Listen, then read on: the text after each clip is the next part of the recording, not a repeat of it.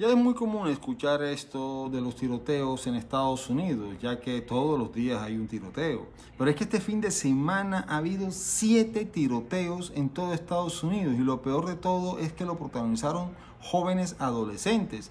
Y esos tiroteos dejaron nueve muertos y una decena de heridos. Miren, según estadísticas del Archivo de Violencia con Armas, solamente en lo que va del año, este año que todavía no hemos llegado ni siquiera a la mitad, se han registrado 290 balaceras masivas en los Estados Unidos.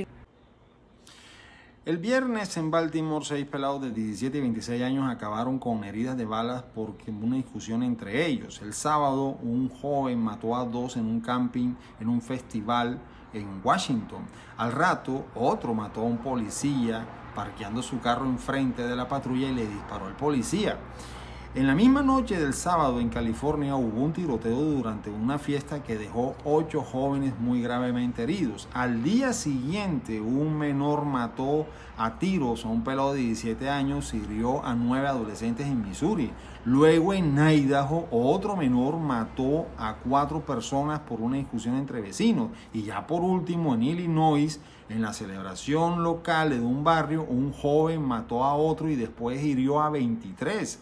Como te puedes dar cuenta, fue un fin de semana muy terrible para los gringos. Es uno de los temas que más divide a los Estados Unidos, regular o no la posesión de armamento de fuego. En este país es tan fácil comprar un arma que con pocos controles cualquier persona, cualquier civil puede hacerse con una pistola o un rifle semiautomático. Es algo impensable en muchos otros países, pero la tenencia de armas en Estados Unidos está amparada en la llamada Segunda Enmienda de la Constitución, que protege el derecho de cualquier estadounidense a poseer y portar armamento. Para nadie es un secreto que en Estados Unidos las armas las puede comprar cualquier persona, ya que la Constitución permite que los estadounidenses tengan derecho a portar armas. Pero el problema está es que ahora los jóvenes nos dicen, nos vemos a la salida y nos damos en la cara, sino que ahora simplemente resuelven sus problemas o discusiones levantando a tiro los presentes y hasta quizás gente que no tiene nada que ver con el problema. El presidente Biden tiene las intenciones de parar esto y prohibir las armas, pero hay muchos intereses económicos que no están de acuerdo con esto. Esto es incluso hasta una cultura muy americana, que hasta un padre le puede regalar a su hijo de 12 años un rifle. Así que ya te podrías imaginar lo jodido que es decirle de noche a la mañana a estos gringos que le van a prohibir el porte de armas.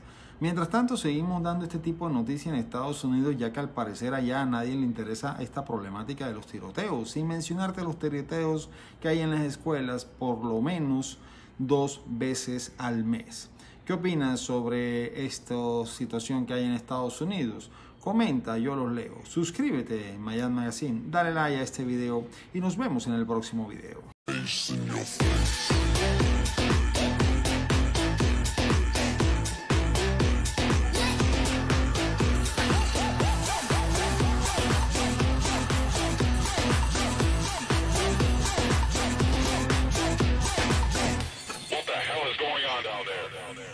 Face in your face.